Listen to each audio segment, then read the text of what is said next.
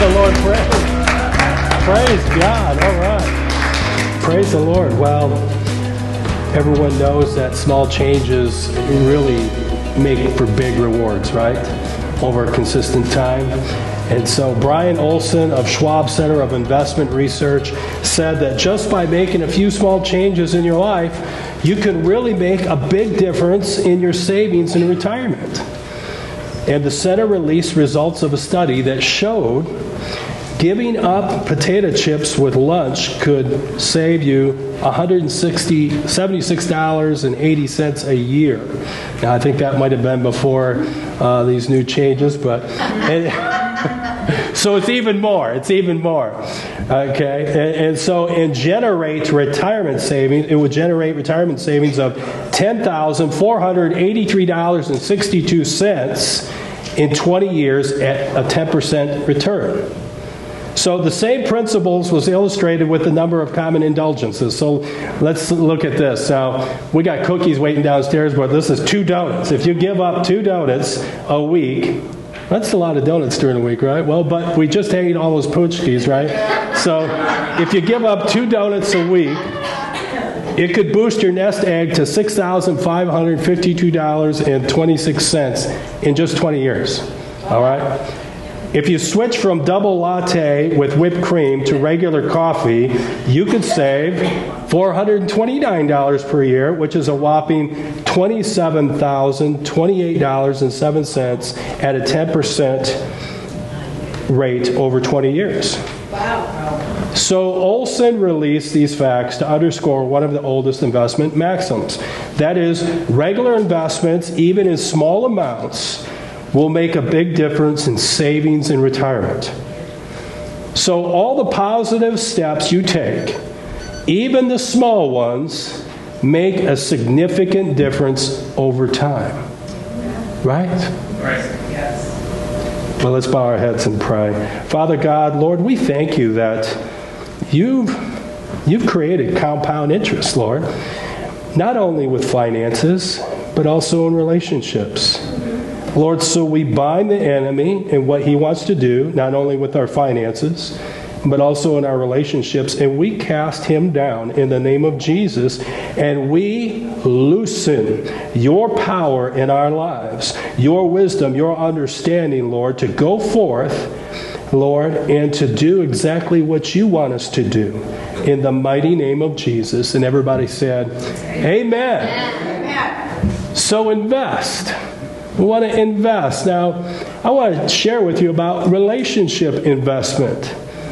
And the whole series is on real relationships. You got to get real. The real you determines the health of your relationships. That's what it comes down to. So, I got a test for you today oh for you to examine yourself and to test if you have healthy relationships. Here's the first question Are you prepared for healthy relationships? That's the first question. Are you prepared for healthy relationships? The second one is Are you willing to connect by focusing on others? And then the third one, and we're going to hold on the third one for right now, but are you willing to build mutual trust? Mutual trust. So if you've answered yes to the first three questions, then you're more than likely uh, to have most of your relationships be healthy. Most of your relationships will be healthy if you answered yes to the first three. The, the first one, you, you are emotionally prepared for relationships because you let go of personal baggage. You know, there was a, a, a word this morning, consider, you know, kind of had that in there. You know, you just got to let go of some stuff. So you are emotionally prepared for relationships because you've let go of personal baggage. The second thing is, is you're able to connect well with others. That's a big one. And the third one is if you said yes, then you're able to build trust with people that are around you.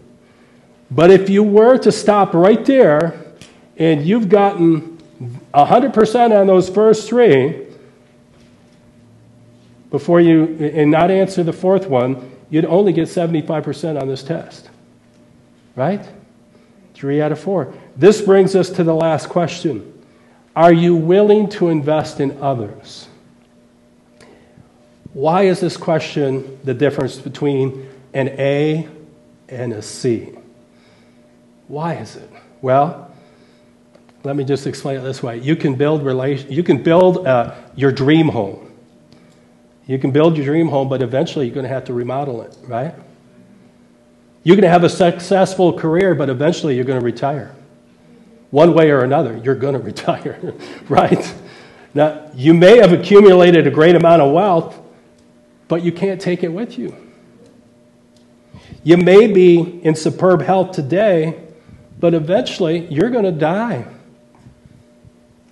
You may have ch- achieved great accomplishments, but someone will accomplish more. Now, many people invest in all these things, but all these things are just temporary. There's something that's not, though. There's something that you can invest that will last, and that's when you invest in people. Amen. That's going to be lasting investment. So I want to share with you today from Numbers 27 18 through 23. And this is dealing with Moses. And Moses really had a, a heart to invest in others. I mean, he came back to be the deliverer of God's people, right? And, and, you know, the Lord delivered them, but he brought, he, he came back and let the Lord work through him. And with the plagues and everything else, Pharaoh released the people, and Moses led them out of slavery and into where God wanted them to go, right? And so he, he's a big investor into people. He invested in people, and there was, you know, there could have been a few million people that left that Moses was investing in. Now, now we're going to look at that's the that, that's the macro, but now we're going to look right into the micro and look a little closer in Numbers 27 18 through 23. It says, So the Lord said to Moses, Take Joshua the son of Nun, a man whom is the Spirit, is the Spirit, eh, man in whom is the Spirit, and lay your hand on him. Make him stand before Eleazar the priest and all the congregation, and you shall commission him in their sight. You shall invest him with some of your authority that all the congregation of the people of Israel may obey. And he shall stand before Eleazar the priest, who shall inquire for him by the judgment of the Urim before the Lord. At his word they shall go out, and at his word they shall come in, both he and all the people of Israel with him, the whole congregation. Right there we see Moses is making a individual investment into Joshua right here, right? And it's not just an easy one because he's actually giving up some of his authority, which a lot of people have a hard time with. And so this is, this is the young man who God has picked out of the people to be the next leader of Israel. And it always starts with a little bit of authority given. And it's done in front of the whole congregation. Now, relationships are a lot like any other investment. Your return is determined by how much you invest, right? Ecclesiastes 11:1 says it this way: Invest what you have because after a while you will get a return.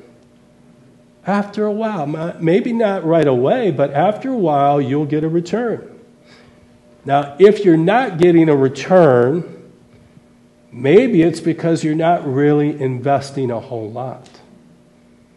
Or maybe you haven't waited long enough. So, how do we hinder ourselves from investing in others?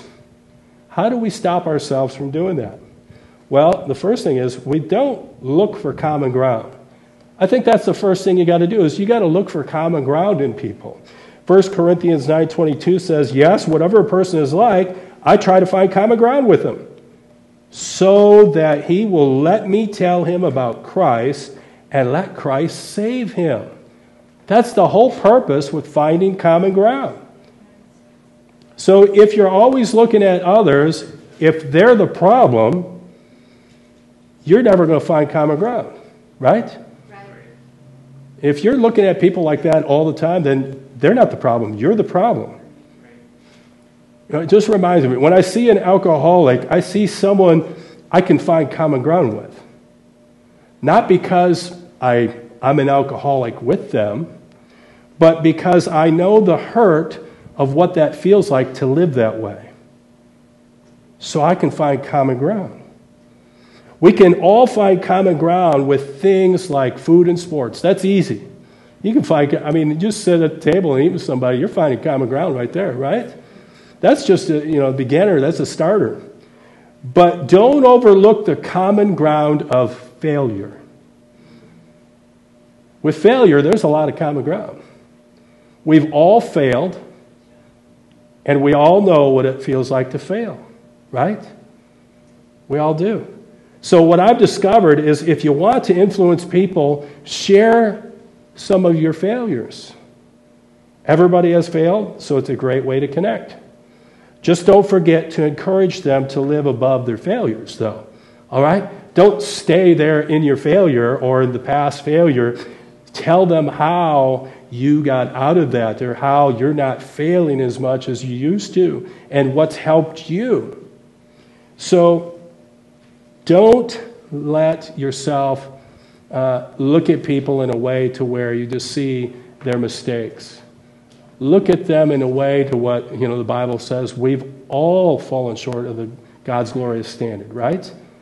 But look at them in a way to where God can use you to help them out of their failure. Here's another one that uh, really hinders us from investing in others. We struggle with demonstrating patience, right?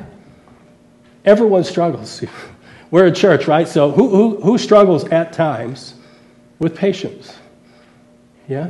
Okay, well, half of you here are, are ready for sainthood right now. So, Proverbs 25 15 says, Patience and gentle talk can conceive a ruler and overcome any problem. Overcome any problem. You know, patience is like a weapon that God has given us.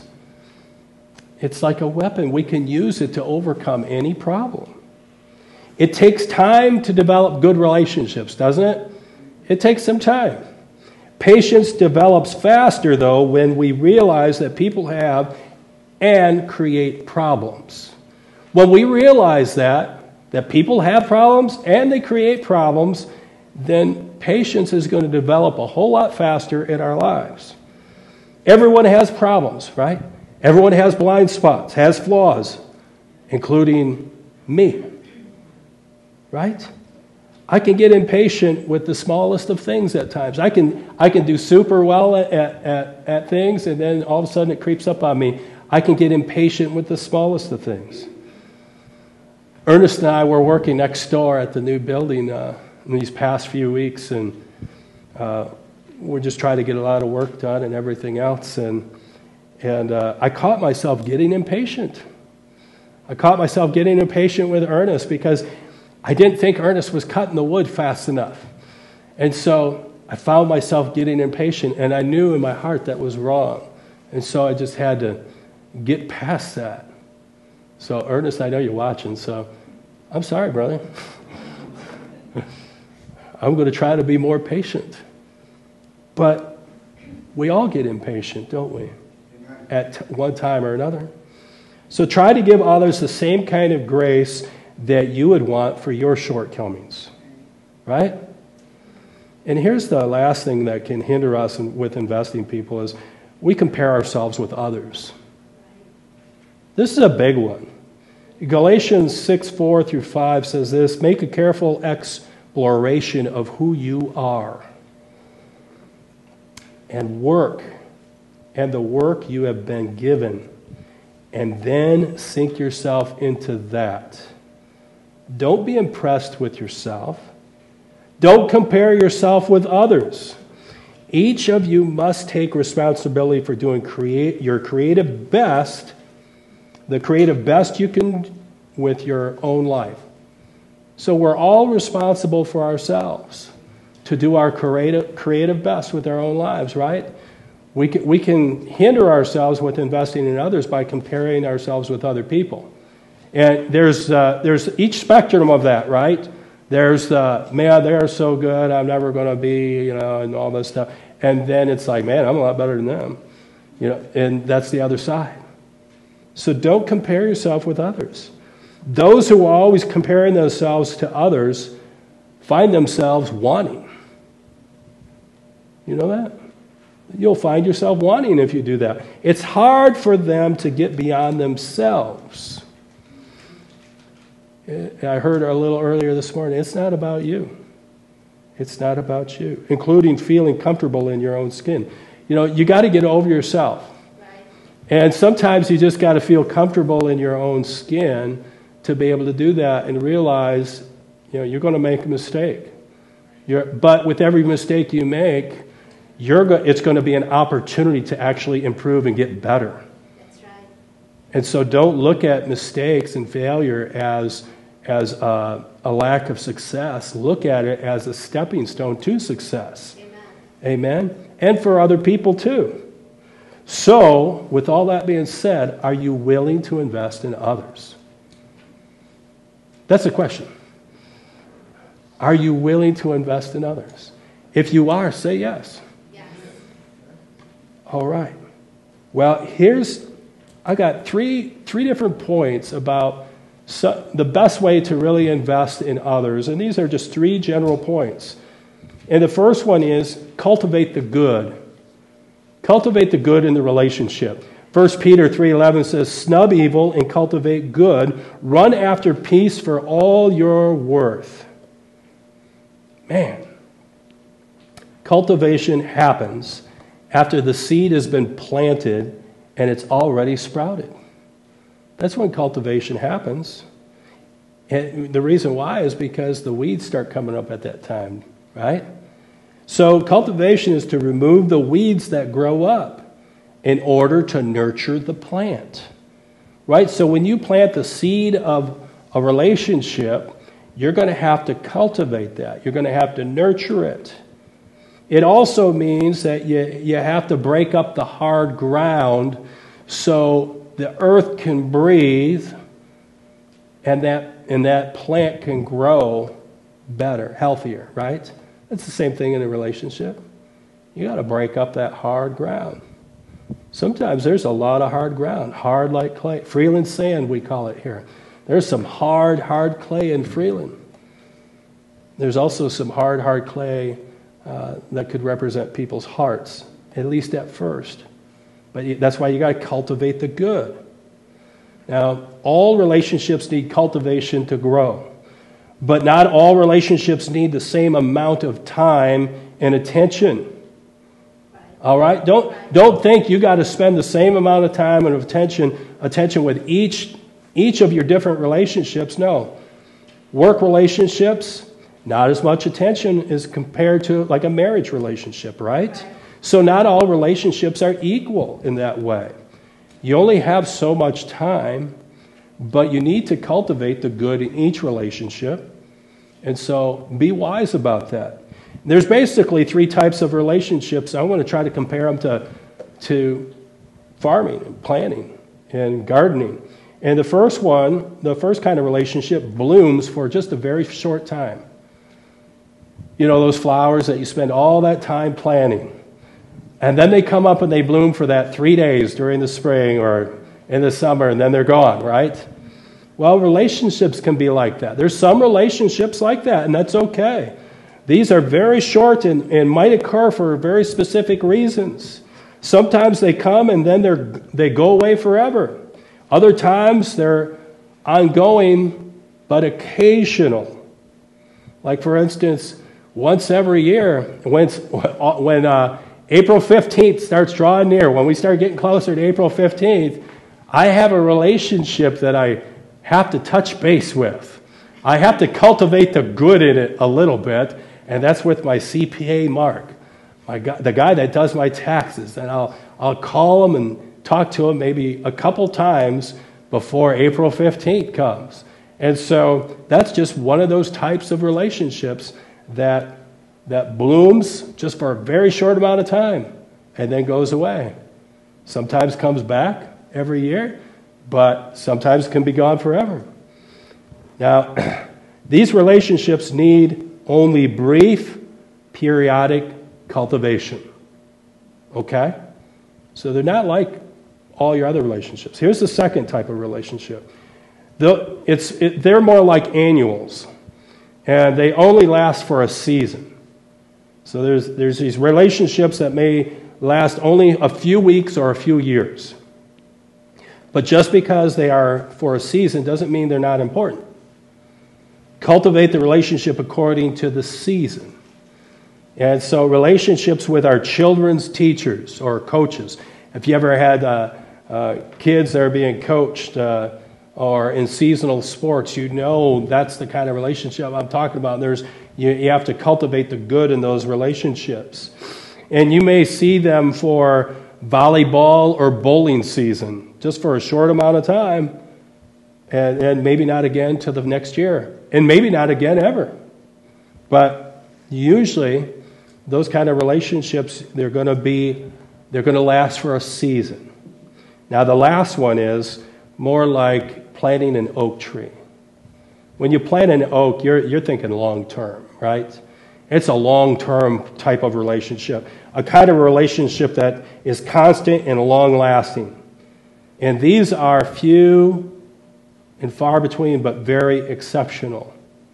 But if we want these relationships to stay healthy and grow, we must not neglect to cultivate the good in them also.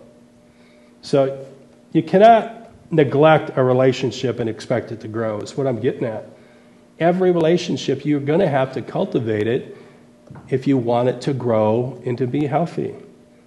But don't, you know, it, it's a time sensitive thing. They're not all the same. And so you just, you, you can't just cultivate the bad in a relationship. I want to make sure I say that. Is sometimes we, we cultivate the bad in, in a relationship. That's all we can see, and that's all we focus on, and that's it. But the word says cultivate the good. Snub the bad, snub the evil, but cultivate the good, right? Doesn't mean accept the evil or the bad. It's saying cultivate the good. Cultivate the good. And your relationships will be healthy. Amen? Here's the second. Here's the second thing that you can do to invest in others. And that is communicate at all times. And there's an interesting passage here in the Bible in Numbers chapter 12, verses 5 through 8, and I just want to give you a little backdrop here. The Lord is uh, moving, he's, he's, he's leading his people in, you know, they, a cloud by day and a fire at night, and the whole thing. And he's hearing and he sees what all the people are doing. He knows what's going on, just like today. And so he sees something happening. And actually, the word says he heard it. He heard a conversation take place. And that conversation was between Aaron and Miriam. And it was a, a very critical conversation about Moses. And the reason why it was kind of brought up was Moses married an Ethiopian woman. But but the criticism wasn't all about that in particular. It was really criticizing his leadership and about how he hears God and how they hear God. And so they were being critical of Moses just using a situation of him marrying an Ethiopian woman. And it says that the Lord heard what they had said. Man, that kind of gives you a, a little chill right there, right? The Lord hears things that go on and things that are said. And here's how the Lord responds to it it says, Then the Lord descended in the cloud and stood at the entrance of the tabernacle. Aaron and Miriam step forward, he commanded, and they did. And the Lord said to them, even with a prophet, I would communicate by visions and dreams. But that is not how I communicate with my servant Moses.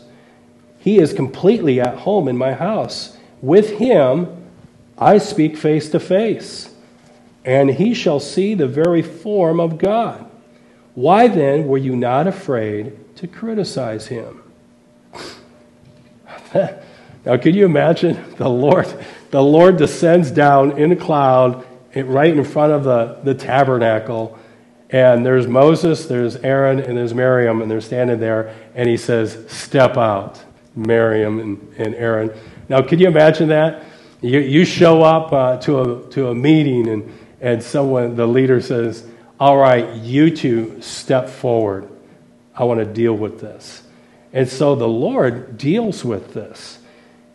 What we find out here is communication breaks, breaks down by talking behind someone else's back or gossiping. Do you realize that? Communication breaks down. That's a great way to break down communication is to talk behind someone's back, criticizing them or gossiping about them. So Aaron and Miriam had done just that thing because they didn't like Moses and his choice and Miriam, the Ethiopian woman. That's what brought it all up. But there was more behind it. And this led them to even questioning Moses' leadership. Now, God opened up the communication between all three.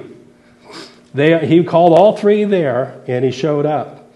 And by descending in the cloud and standing before them, calling Aaron and Miriam to step forward and let them know very clearly how he communicates. Now, there's a lesson in that right there.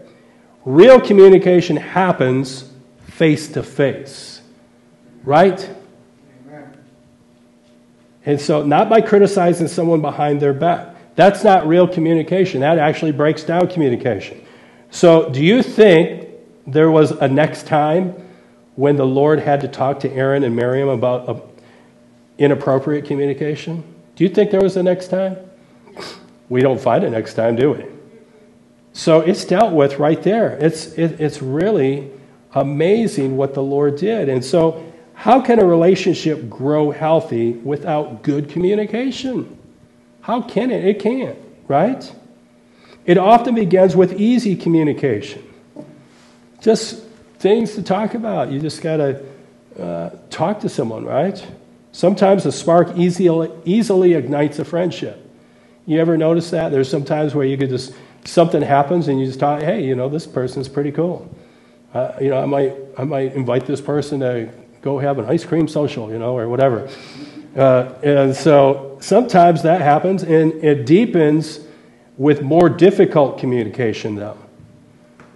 Difficult communication doesn't hinder a relationship, it actually deepens it.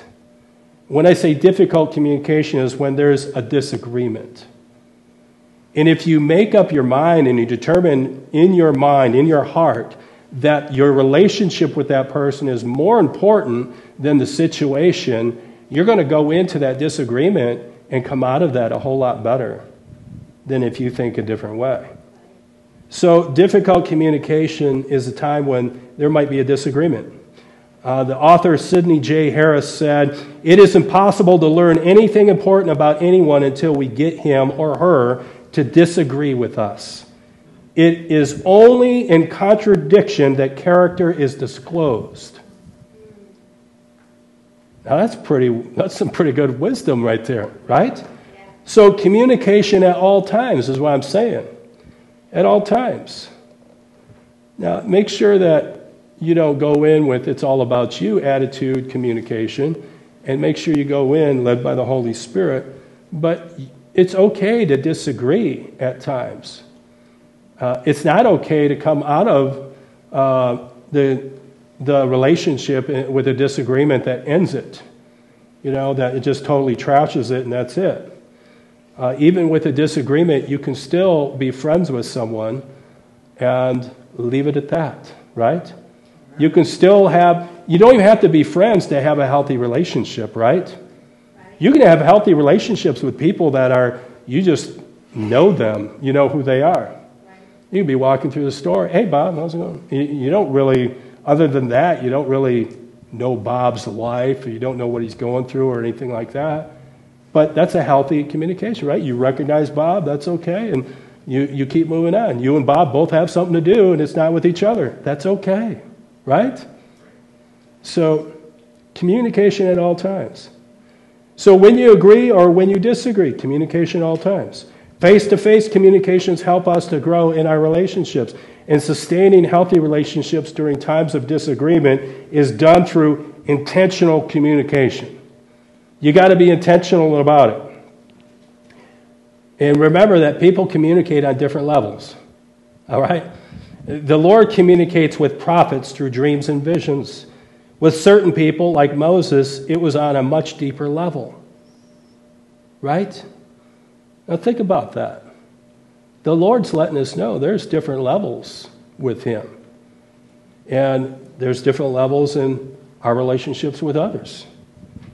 Now, after a few years into our marriage, I realized that old saying or old stat, whatever you want to call it, that a man uses 10,000 words a day, and in a woman, I think it was 40,000, right? 40,000 words a day. There's quite a bit of difference there. That's a large gap. So it takes me four days to catch up to my wife, right? So now I, I discovered that that was true, basically. I mean, I, I don't count the words, but the generalization is true. And I would get home from work having used up most of my 10,000 words, only to discover that my wife is, is on, you know, word 25,001, and she had 15,000 more to go. And I realized that I wasn't as very enthusiastic as I should have been in our conversations early on in our marriage because my speech odometer hit 10,001 words, right? You just kind of, guys, uh, uh, it, you know, I'm, I'm working with you here. Amen? So, but that wasn't fair to my wife, let alone it wasn't right. Amen. okay, women, that's your turn. You can say amen. Yeah. That was my wife, by the way. Uh, so I had to make an adjustment. I would start every day by spending part of my first 10,000 words by saying something to her, talking to her, letting her, I know, uh, letting her know that I love you. And and even today that we can't, we got this agreement that we just don't leave the house or leave each other without giving each other a kiss and saying, I love you. And so that's part of my 10,000 words. And I think that's a great part. And so I had to make that adjustment. So then, no matter, uh, no matter what, I would make sure that to, to have enough words reserved in my word tank, okay? It's just like those uh, old trucks, you know, big, big F 350. You know, you got, you got two fuel tanks. You got the, the 30 gallon over here, you got the 30 gallon over here. You got, you got 30 gallons on reserve. So I was like that. I said, I'm, I'm going to be like that truck. I'm going to have a lot more words in reserve in my word tank for my wife. No matter if, no matter if this tank is empty or not, I'm going to make sure I, I switch the, to, you know, do the toggle switch and it goes over to the next tank. Even if I had to get into the next day, right? And so I just made that switch. And even when I felt like I was running low, what I would do is I would, there's a lot of different ways to communicate with people outside of words, right? Now, I don't know sign language, but I do have facial expressions. Like, oh, that's pretty interesting. Wow, I never knew that, you know, or, you know, just the expression itself. Whoa. My God, yeah. You know, and, and so I would do whatever it takes to, to, get, to get that and, and just be able to focus on her and that communication with her. So, what am I saying? There's always a way to communicate. Communicate at all times, in agreement and disagreement, in good times and bad times in times when you have words, and in times when you don't have so many words. Sometimes the best way to communicate with someone is just being there with them, right? So, cultivate the good, communicate at all times. And here's the last one. I think, I think this one is really important. And we're going we're gonna do this more and more uh, just as a church this year, but we're, you need to celebrate others when they succeed. Amen. Proverbs 28 12 says, when an honest person wins, it's time to celebrate. You know, we're not celebrating bad things, okay? We're, when an honest person wins, it's time to celebrate. Right? So, have you ever noticed that when you fail, many people will sympathize with you? They'll come to you and, and, and console you, they'll be there and all that, and that's fine and everything. But when you succeed, few are ready to celebrate with you. You ever notice that? There's something wrong with that. Average people don't like it when you go above average. That's really what it comes down to. And if you don't want to be an average person, then you're going to have to learn how to celebrate others when they succeed. So we're not average, right? We're a particular people. We're a holy people. We're we're, we're a holy nation, right? We're royalty. We're not just average people. We're, we're the head and not the tail. We're far above that. So, frequently, the very same qualities that prevent people from achieving success, uh, which is things like emotional insecurity, a mindset of lack, maybe even jealousy, and so on, those things keep them from celebrating the success of others. That's what it, that baggage thing. And so you got to let go of that baggage. The joy of an accomplishment is not as great when no one celebrates with you. You notice that? Uh, hey, accomplishments need celebration. They need a celebration. That's why last year we celebrated uh, two different people that retired. That's an accomplishment. Hey, you made it, you know. Number one, you made it, but number two, you worked a long time at these different places. You need, you need a, you deserve it. We need to celebrate, right? Yeah. So that's what, that's what we got to do. We got to celebrate. Now, some of us went to a church conference uh, in Midland a, uh, a couple years ago, and I knew I'd be seeing other pastors and leaders at this conference. So I was kind of excited because we had, we had this building project and everything else. And one thing that happens when you go to a, a conference and you see different leaders is you, you all ask each other, you know, hey, what's new? What's new in your life? What's going on at the church? You know, all this stuff. So what I did is I brought my tab with me. I brought my tab, which I had my PowerPoint uh, on there with a whole bunch of different pictures of the, the building and the construction, everything going on, because I was ready, I was prepared to show them, hey, here's what's new right here. And so this one, uh, this one leader uh, came up and, he, and he, he was, I was all excited to see him because he was a very, he's a very successful pastor uh, of, a, of a big church. And he asked me, hey, what's new? And so without hesitation, I whipped out my tab. Well, I'll show you. I'll show you what's new. And I pulled up my PowerPoint presentation, which is just a bunch of pictures. And I started showing them. I went through it with them and stuff. And, and maybe I was a little too excited about it. Uh, but I thought I contained it a little bit. And I was showing, yeah, this is what's going on. This is, you know, this is our people working here, and this is what we did, blah, blah, blah. And so I got done showing them the pictures, and this is all done in within five minutes, okay? I'm, I'm not there for, for an hour or anything. And so he just, he just looked at me and said something like this, and he said, Well, you do know that the average pastor who starts a building project only lasts for about two years after that building project is, is done. And it took me by surprise. I kind of thought, wow, like I didn't know that already. I, I know that stat. Okay? It is in my mind. But that was the only thing he said to me. Yeah. And then walked away.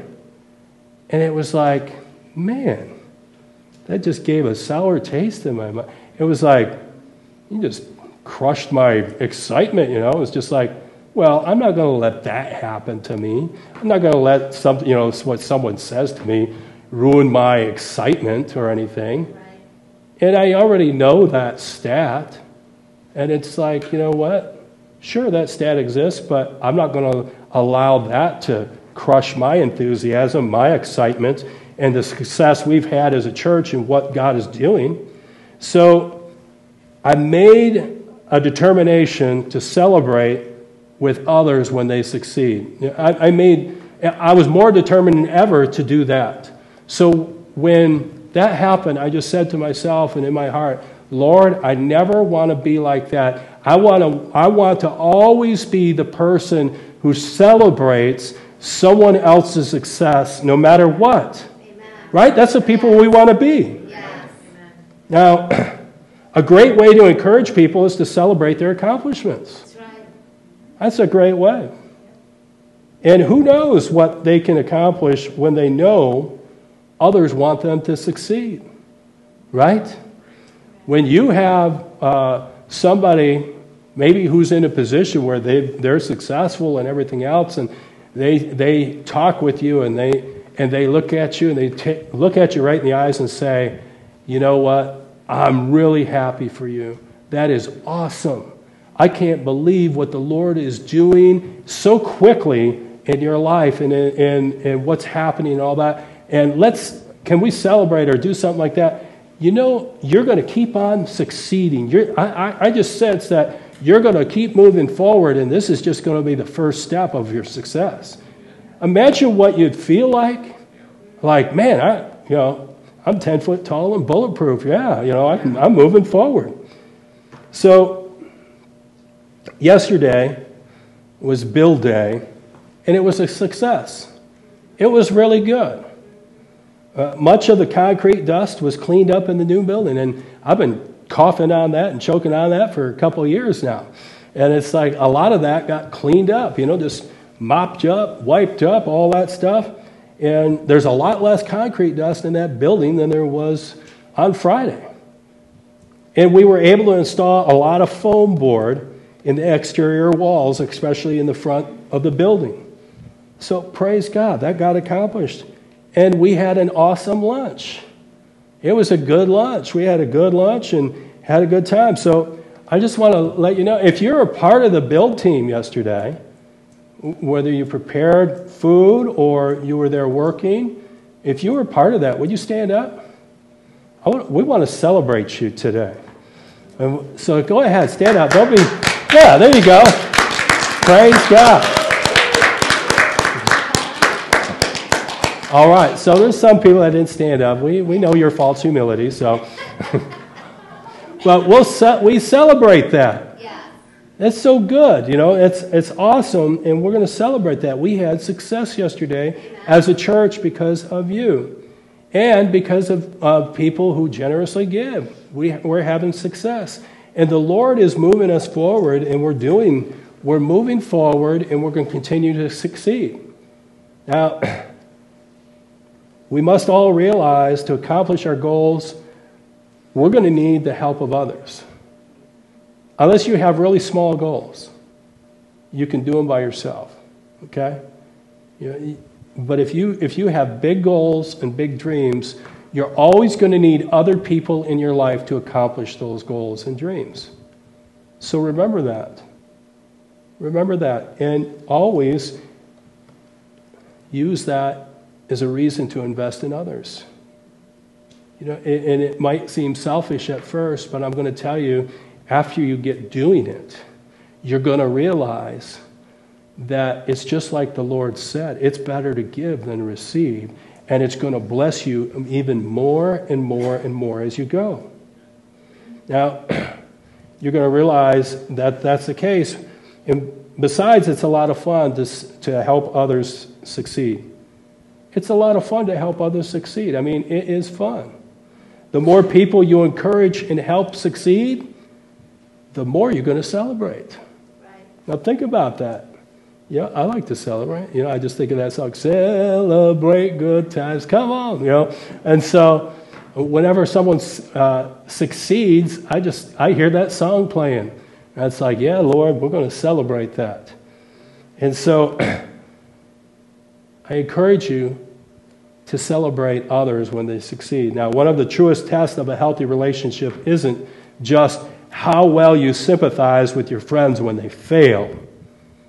But don't get caught there, okay? That's good to do that. But how excited you are for them when they succeed. Amen. That's the real test.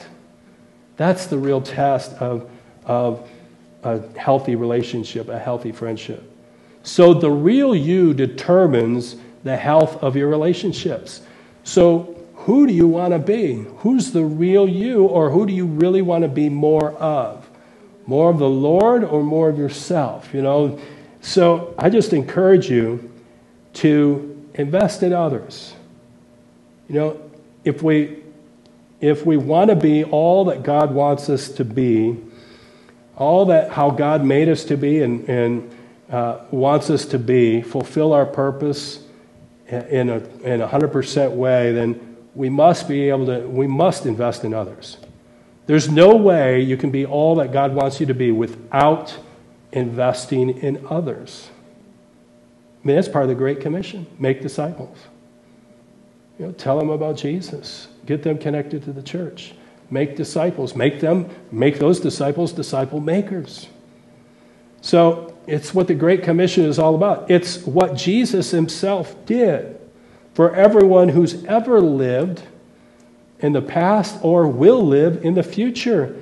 He invested everything he had, his life, dying on the cross to pay the price of our sin to help us succeed and have the victory. Right? By giving his life. Giving his life so we can have life and life more abundant, right? So let's stand. If you want to receive the benefits of the Lord Jesus' investment, then say yes. yes. Yeah, yes. I do. I do. And if you're watching online, if you want to receive those benefits of the Lord Jesus' investments, then you got to say yes to them. And if you haven't said yes, then you're not going to receive very much. So I encourage you to start there. Start with your relationship with the Lord. And it's really easy. Yeah, go to him say, you know, I failed, I messed up. I want to have a relationship with you. And what that looks like is repent of your sins and, and make him the Lord of your life. Recognize him for who he is. He's the Son of God. He is, he is Jesus, the Messiah, who paid the price for your mistakes. He's covered that over, atoned that with his blood, and he was raised from the dead so you will have the victory. It's as simple as that. So, if you want a healthy relationship, it all starts with Jesus first. How is that relationship with Him going? So, with heads bowed and eyes closed, let's just make sure that we give people an opportunity. Lord, Lord, whoever may be watching online or whoever's here that needs to improve their relationship with you, I pray in your mighty name, Jesus that uh, we would just make that right. Whatever there is, is in between uh, us and you, Lord, ourselves and you. Lord, if it's a sin, if it's an unconfessed sin, whatever that may be, Lord, that we just take care of that right now before you. And Lord, we get that out of the way so we can have open communication with you. Lord, we love you. We care for you. We love you, Lord. We thank you that because you loved us, we can, we can love you back. So, Lord, we thank you and we believe in all of our hearts, Lord, that, that you are the Son of God who was raised from the dead, who paid the price for our sin, and who wants us to succeed in every way. And Lord, we want to have a healthy relationship with you and with others. And we want to encourage other people. We want to celebrate with them. We want to cultivate the good and communicate with them at all times and also with you, Lord. So we're open to you, and we ask, Lord, that you would do that in our lives. In the name of Jesus, and we give you all the praise, the honor, and the glory. And everybody said, Amen. Amen. Praise God. He is good, right? He's a good God, and He wants us to succeed. And He's all about celebrating. And anyone who gives their life to Him Whoever gets saved, there's a celebration that happens in heaven, right? Praise God. He's good. Uh, let me just speak a blessing over you. May the Lord bless you and keep you. May the Lord make his face shine upon you and be gracious to you. May the Lord lift up his countenance upon you and give you peace. And may you walk in the victory of Jesus every day of your life. Amen.